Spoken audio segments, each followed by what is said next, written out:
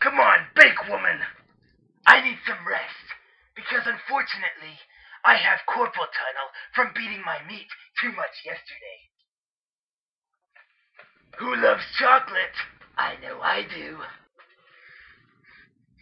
Ah, such a delicacy. Oh Lord! It's raining chocolate chips! It's my lucky day! Come on, fall into my mouth. They fell on the floor! That's chocolate chip abuse! You're a disgrace! Some delicious flour. Of course I have to have a taste.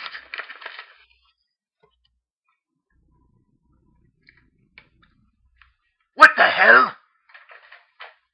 This isn't flour. I feel like I'm about to trip out. Damn you, George Bush! Tacos rule. I'm crazy, I'm crazy, I'm crazy, I'm crazy.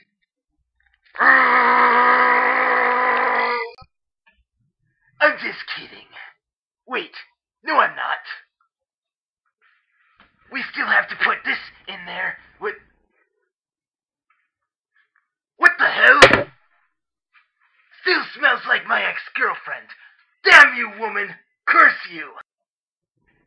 Of course, you gotta get the rest of the cookies on the pan. Like so. And once they are all assorted on the pan, then we are ready to. Well, before the next step, clean yourself up with paper towels. You know, of course, I always like to use them in a certain way. To wipe my ass. Oh, shit! Now, of course, you want to get your glove on before you insert these into the oven. I recommend this glove right here with extra padding. Found at Big Lots. Gives you extra protection against thermal energy.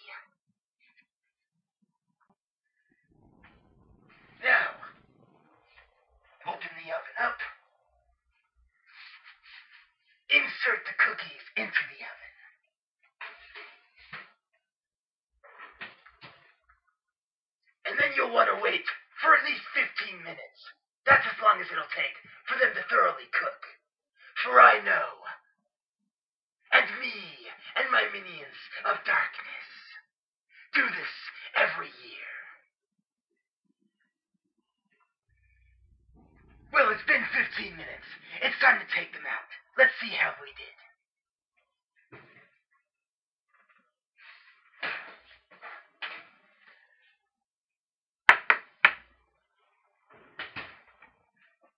As you can see, we have beautiful chocolate chocolate chip cookies.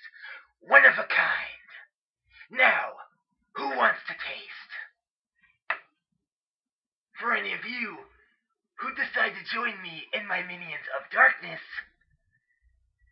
you will get to bake with me, the Dark Lord. Well, thank you for taking your time out of your precious life to watch and do some baking with me. There will be more down the road. Well, until then, bottoms up.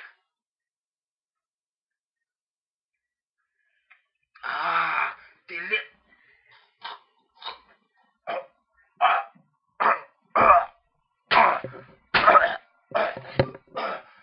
Anthrax!